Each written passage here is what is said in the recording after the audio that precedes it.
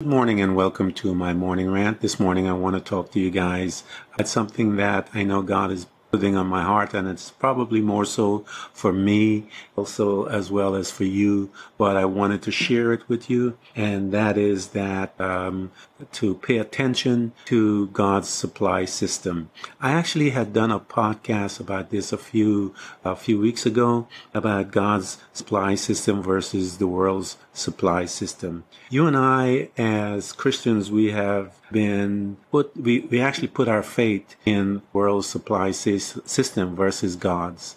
And we're looking at a situation right now that is being uh, um, the world supply system is being put on on blast as they would say the young kids would say.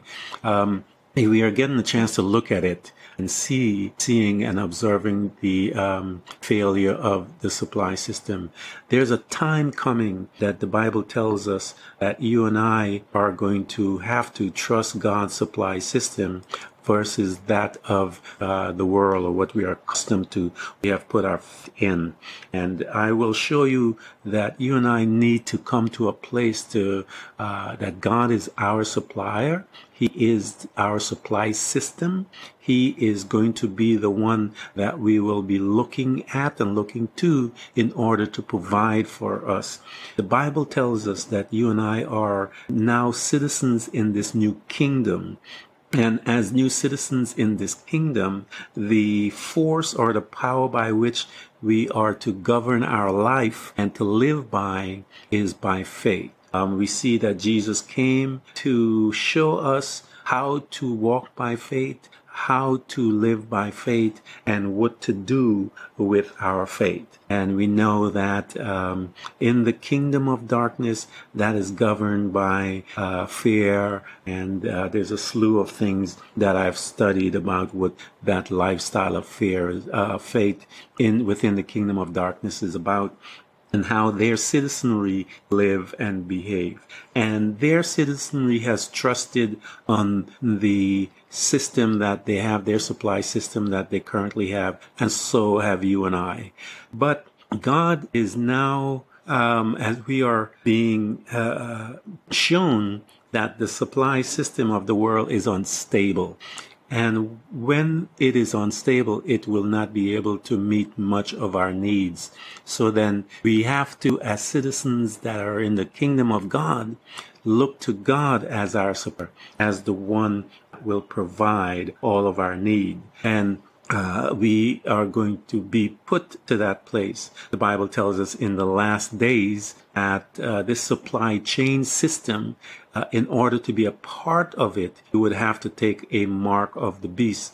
And we see that in Romans, in Revelations chapter 13, verse 17, it says, And that no man might buy or sell save that he uh, that had the mark or the name of the beast or the number of his name. So there is coming a time that uh, everyone within the kingdom of darkness is going to be stamped. Uh, you're going to have to re- uh, receive this uh, this mark, this uh, identifying uh, piece, in order to be a part of the system, the supply system that they have in the kingdom of darkness. Now, the Bible tells us that those who take those marks, that they are damned and that they will not enter into the kingdom of God. So there is a separation even coming deeper, and that separation is based upon supply system that the uh, kingdom of darkness knows that its citizens need, and anyone that is here on this planet, uh, if they are not in the kingdom of God, will have to uh, rely on that system to provide their needs. But the Bible tells us that it says, uh, my God, Philippians says uh, that my God shall supply all of your needs. So then, if you have need within the kingdom of God, Bible says, and He promised that He will supply our need.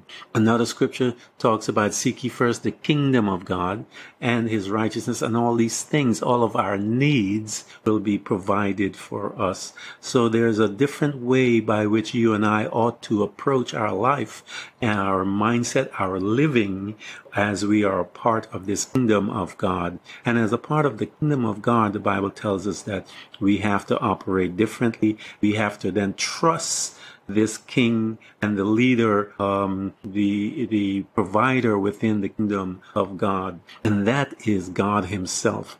The Bible tells us, and I, I had a little conversation about this also in a podcast, and I believe this is the problem within the life of the believer. Um, Jesus makes a statement in Mark eleven twenty two. Then Jesus said to the disciples, "Have faith." In God. And once you begin to have faith in God, then you will be able to access the power that is in faith to say to this mountain, be thou removed, be thou cast in the sea, and so forth.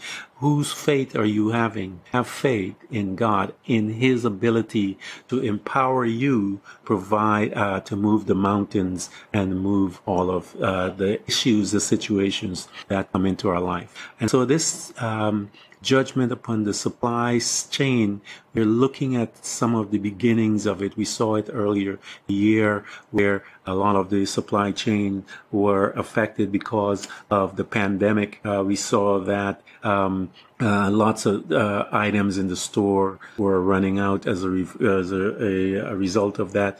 Now looking at this war between uh, Russia and um, and the Ukrainian uh, people. And we are seeing, and many of us did not know that Ukraine was a part of this um, supply chain. And we are looking now and seeing that lots of grains and all these type things are coming from that country. We know that uh, in uh, in um, uh, uh, uh the Russians, uh, their supply chain was oil and and so forth. And so we see this these wars. Jesus mentioned that in the last days that there will be wars, rumors of wars. There will be uh, um, disruption within the climate, climate change, and I know really irks my heart to to have these so-called people that are Christians that don't believe in climate change. My God, that drives me nuts to even think about it because Jesus talked about the changing of the climates at the end of the age. He says we'll have earthquakes and, and all of these different things in all over the world and different places. So, um, and it is my belief that climate change began or started or began to magnify when the uh, the flood happened and when the firmament broke and uh, so forth. Because we see at that time men used to live four, five hundred, nine hundred years old, and then after that flood, you could see within several generations dropped from 400 years down to 170 years, 190 years that people thought that was a long. When before that people were living longer. So I want to talk to you guys about this um, that God said He will provide for us. You have to understand that in His um, uh, uh, um, his supply chain, God is a provider. We're looking at the Word of God and all it talks about. See from the beginning that God is a provider, and uh, we know that after Adam and Eve fell, that uh, in in the book of Genesis chapter three, we know that they needed a God knew that they needed Savior, bring them back, and He provided one. He said He will provide one in Genesis the 15, uh, chapter 3, verse 15, he says, And I will put enmity between thee and the woman, and between thy seed and her seed. It shall bruise thy head, and you shall bruise his heel. So we see that God uh, became a provider in Genesis chapter 3, verses 1. Uh, and he, we see this theme as he is his supply chain is different. We know that his supply chain was different when um, Abraham, uh, uh, uh, when Abraham had need, God provided for him. We know that uh, uh, when uh, we see, especially in the children of Israel, and I use the children of Israel as a metaphor for us uh, that are in walking uh, spiritual life. We know that naturally, Jesus, God comes this group of people and he's pulling them out out of the world egypt.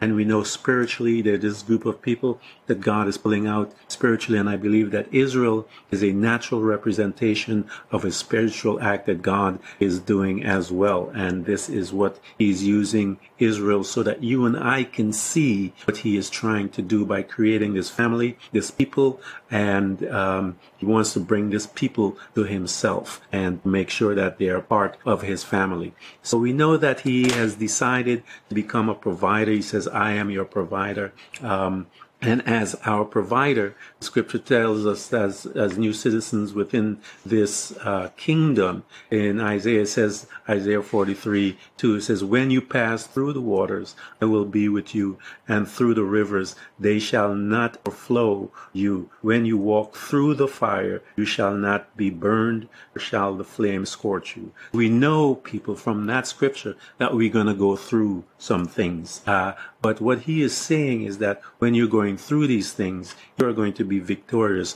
through these things because we are trusting in him as provider. And so we see that first he provided the lamb. We know that when Abraham went, when God was testing him with his son, you know, there was an incident where Jesus, God provided the lamb so that he didn't have to uh, sacrifice his son. So we see this provider theme, and this is showing us that God's supply system is much different than the world. Here, the children of Israel coming out of Egypt, and we know God looks at Egypt and He says to them, uh, the children of Israel, He says, "You are going to leave this place, and you are. I'm going to take you to a place of milk and honey." So He promised us uh, to take us from this place. He says this in the scriptures that God has delivered us from this kingdom, from the power of this kingdom, and He's uh, delivered us into this um, place of milk and honey, which is heaven. So uh, it is the same representation, the natural, as I mentioned, that He's doing in the spiritual realm. So He's taking these people out of um, of uh, is, uh, Egypt, and now He has to prove to them, show them, not prove them, show them that He is their supplier and He is their God. And so takes them in, they walk to the, to the Red Sea, they're looking around, they feel trapped. In the natural realm, they're trapped. But God is the provider. He is the supplier. He is the one by which his system is different than the system of the world. So we look at him, Bible tells us, he tells Moses, this is what I want you to do. And that represents obedience, faith. And then see that once he did what God told him to do, and the sea part, part, uh, parted and he walked through. That was his supply system. Then we see them get into the wilderness. The Bible tells us that they're there because their hearts are hardened. They're they are there because of unbelief. Um, and we talked about what uh, unbelief is. Unbelief is when you differ from the word of God. God is showing them there, they, um, He is their provider. He provided health. The Bible says that none, not one of them that was, came out of Egypt was, was there any feeble amongst them. Why? Because God says, I am the Lord that heals you and that none of you shall, um, have any of these diseases. So they came out and God protected them. He provided health care for them um, where they didn't have any health care. So you and I, our system is going to have to believe that God is the one that will provide health care for us. It says, I am the Lord that heals you. So he says, um, in uh, uh, here we are also as the, we're taking the children of Israel. They're walking in the in the wilderness. They're complaining. They're hungry. They need food.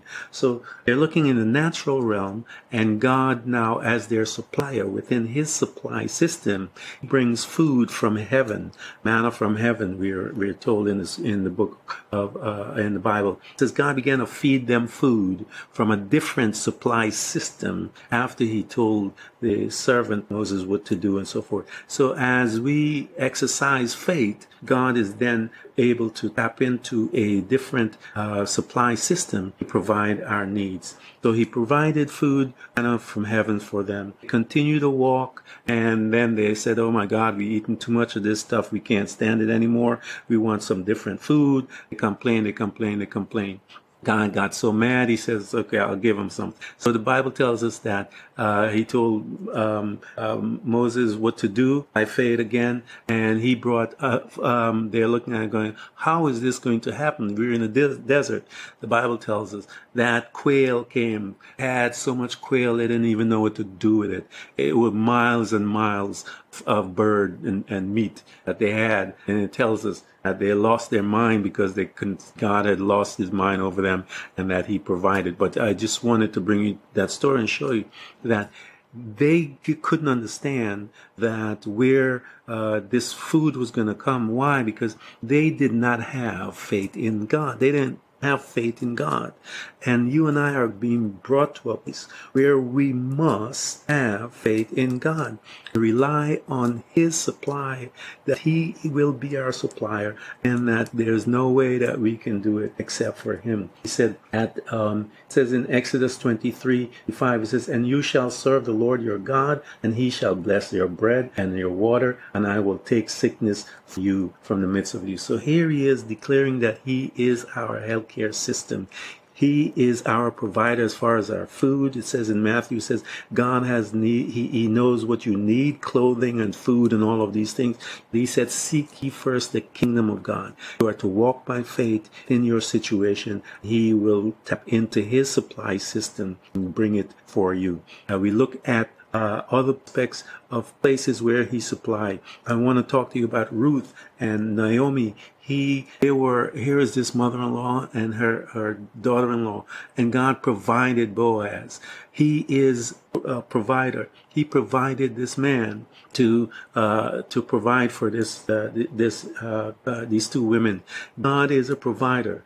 He, you don't know how He's going to do it. It's His responsibility to do it. Your responsibility, the Scripture says, is only believe. Because if you believe, Jesus said, all things are possible. So you and I are going to be brought into this place where we have to at a different um, we have to look at God as our supplier, as citizens within the kingdom of, of God, within the kingdom of heaven, within the kingdom of God's dear Son, because there is judgment that is being has begun on the supply chain of the world and it is king of time as the scripture says in revelations 13 17 and that no man might buy or sell save he that had the mark or the name of the beast or the name his name, the number of his name. This is a verse about their supply system. This is not where you and I want to get our needs met from because the Bible tells us that if we do that, we are damned ever. So it is my hope that you and I start to sing our faith, start developing our faith so that we can extract what we need from God's supply system. He is the one that said he will supply it. We have to trust he will. So I want to thank you. The Bible says that the just shall live by faith and we walk not by sight.